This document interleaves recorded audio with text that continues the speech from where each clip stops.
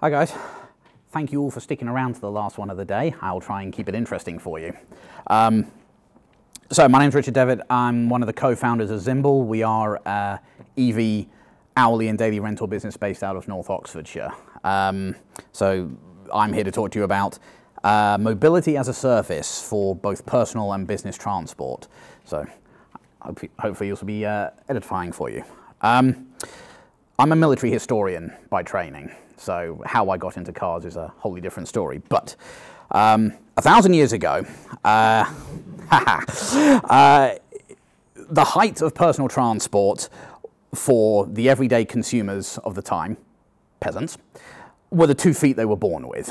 Um, now, if you worked really hard your entire life, you might just upgrade that to four feet in the form of a donkey, um, which you would then rent from your lord on finance as well. So there are certain things which don't change no matter how long you go back.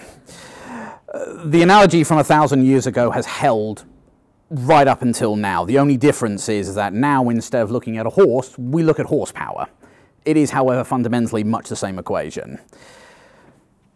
There's one commodity throughout human history which you can't buy, you can't sell it, you can't manufacture it, but you can waste it all the time. And before you know it, it's run out. And that commodity is time. Time is how we measure everything. We measure how long we live. We measure how long we take to accomplish any form of task. It's measured in time before we measure it in anything else. Now you're asking yourselves, what on earth is he doing talking about time right now? The reason this is because mobility is no exception to this. It's all about time.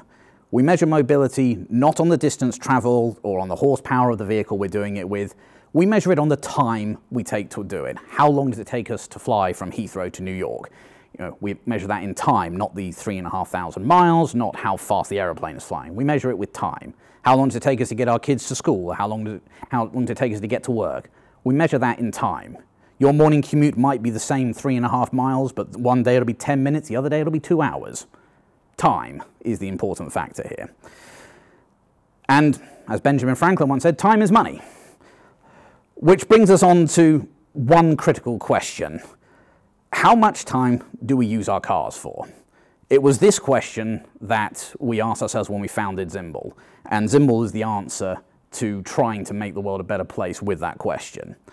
Now, James stole my thunder earlier, but 95% of the time, our cars do nothing but depreciate. They sit there doing nothing. They sit at your house overnight, they sit at your workplace during the day and all they're doing is depreciating. 5% utilization is the average, and that average is the same world over. Now, the most highly utilized vehicle is usually an aeroplane. The airlines like to say how efficient they are. They only average 42% of the time for an asset that is far more expensive. And that's you know, one of the highest utilization numbers we get. There are nearly one and a half billion cars on this planet right now and almost all of them are internal combustion engines, and almost all of them sit there for 95% of the time doing nothing. But everyone pays for their car 100% of the time, regardless of how much you use it. This is the truth for individuals, everyday consumers. It's the same for businesses this number doesn't change materially. Even the most efficient logistical businesses, the ones that do it all day, every day, even those vehicles will rarely hit more than 40, 50% utilization. And that's businesses that will switch the drivers out to keep the vehicles moving where humanly possible. The most expensive asset the vast majority of us will pay money for outside of personal properties and the businesses we run is our vehicles. It is the only asset class that we will accept that we must pay a huge amount of capital up front. We will pay a constant amount of payments in the form of finance, tax, fuel, maintenance, which only gets larger as a vehicle gets older, let's remember, for an asset that we hardly use. And that gets less valuable the longer we continue to pay this amount of money to maintain it. We don't accept this as a society in any other asset class, whether it's property, commodities, stocks and shares, even the collectibles we all we like to have. We don't accept this. We accept that if we're going to invest in something, that thing has to gain in value at least modestly over time, or at the very least not be worth less than when we paid for it. But we accept this in our vehicles. And this is before we even consider the ongoing ecological disaster that is maintaining such an enormous fleet of fossil fuel powered vehicles on this planet. There is fundamentally almost no upside to this scenario, but we live with it, we endure it, and most of us don't even question it. 54% of UK households' carbon emissions come from their personal vehicles.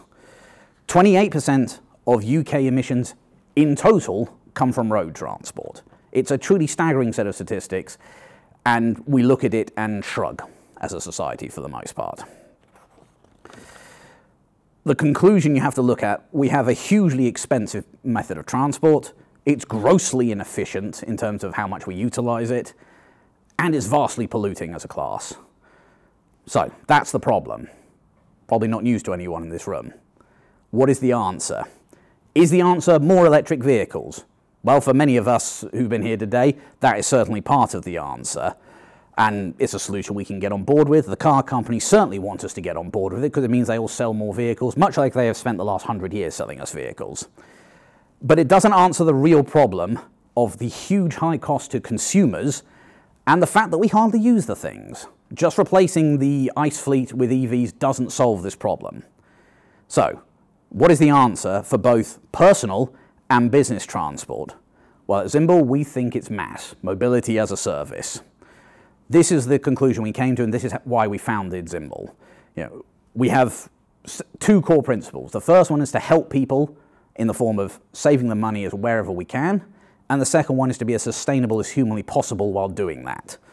Um, we started in our pilot town of Banbury using our business to consumer model we rent cars by the hour, by the day to anyone who needs them. We deliver it to you so that the consumer gets all the convenience of car ownership and none of the costs. So you need a car for an hour, for two hours, for a day, that's what you get, and that is all you pay for. We expanded that over the course of time to several different B2B options. So we now operate a long-term rental option for businesses, which, because they can reclaim the VAT on it, and they can just return the car after a minimum of six months if they're no longer using it, or swap it for something else. It's a very cost efficient way for people to switch to an EV straight away without having to go through all the costs and long term contracts of purchasing. Um, we've also set up our own charging infrastructure. We use a biofuel powered generator to run our own charge points. So this will allow anyone who is already an EV user but wants to recharge in a more ecological fashion while being quick about it, they have that option with us. And the charging infrastructure is pivotal to creating the mass ecosystem. If you want people to convert to EV, you have to make it easy, you have to make it cost effective, and you have to make charging convenient to them as well. So, the concluding thought from this is 21st century transport is evolving. We've come a long way but it needs to go faster. We don't have the time as a society to just let this problem hang because we won't live long enough to see the solution through. Or even if everyone in this room might do, our children might not. We need to move faster and we need to do it now. There are both environmental and economic reasons for both individuals and businesses um, there are savings to be made. There are profits to be gained. This doesn't have to be a zero-sum game. This doesn't have to be an enormous subsidy from the mass of society to benefit. We can all benefit from it on both a financial and an environmental level. The technology and products and the services like Zimbl's are here. They exist now. You can make an argument that some of them aren't perfect. If we wait for the thing to be perfect, we'll die first. But they work now. All we need to do is have the willpower to step forward into the future that is right in front of us now. Thank you very much. Any questions?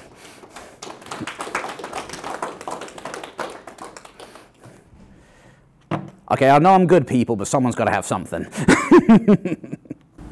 so, how does it work on just like a day-to-day basis? Like, if I got to go to work in the morning, but then I need to drive home in the afternoon, so, uh, great question. So, Zimbl's uh, example of this is we have a custom-made app which you download for free. There's no membership fees, there's no no registration fees, anything like that. You book your cars ahead of time. You only get charged for them as you use each booking. So you will know in advance that you are guaranteed a booking on vehicle X, Y, or Z.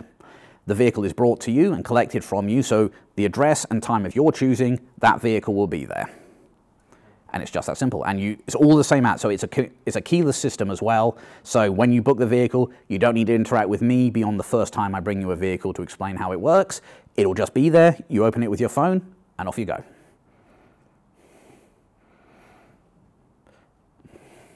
I guess that's it then. Thank you very much for your time, everyone.